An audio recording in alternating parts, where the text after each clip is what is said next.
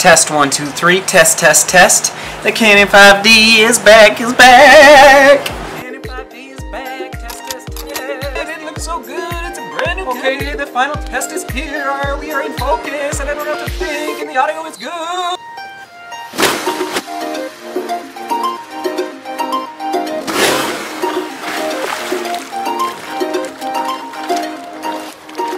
How to beat the summer heat when you don't have a kiddie pool.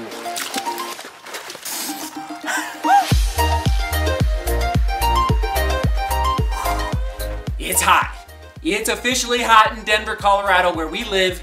It was 105 degrees yesterday, and that was an all-time record for Denver yesterday. 105 degrees. Today it's in the 90s, not as bad, but it's still hot out, and our house is 1,100 square feet. So, we have this big evaporative cooler to my right, and it does a great job at cooling off the big rooms in the house. However, we realized that it was not cooling off the nooks and crannies of the house, meaning the smaller bedrooms, the smaller home office, even the bathrooms. So that's where this guy comes in. The NewAir Evaporative Cooler, it's the EC111W is the model.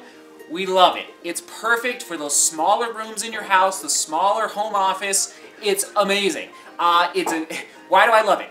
It looks good. It looks good. You know, it's a sleek design. It's quiet. You don't even know it's in the room, as this guy's pretty loud. Uh, you don't even know it's operating.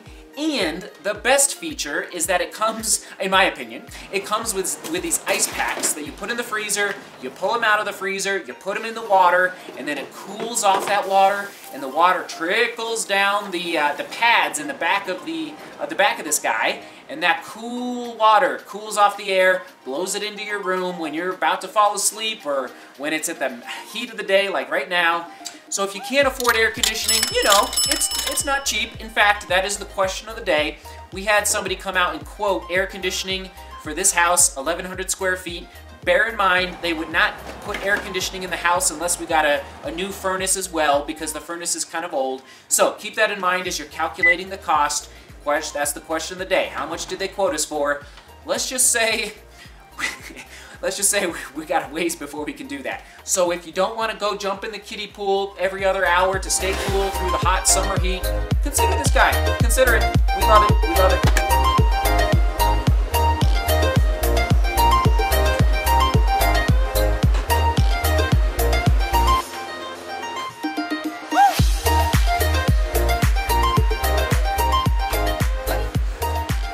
Just to be clear, uh, we don't get the nasty heat here in Denver where it's humid. We have a very dry heat because we're at 5,280 feet above sea level, so the air is really dry, but it does get hot.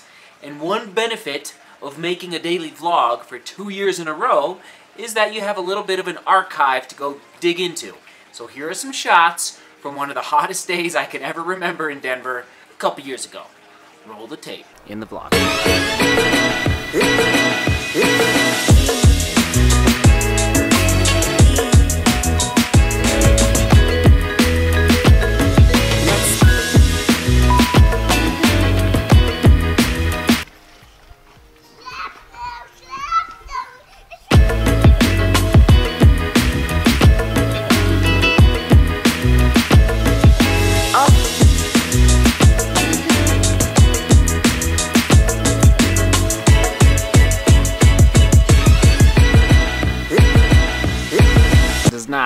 get any better than this on Father's Day.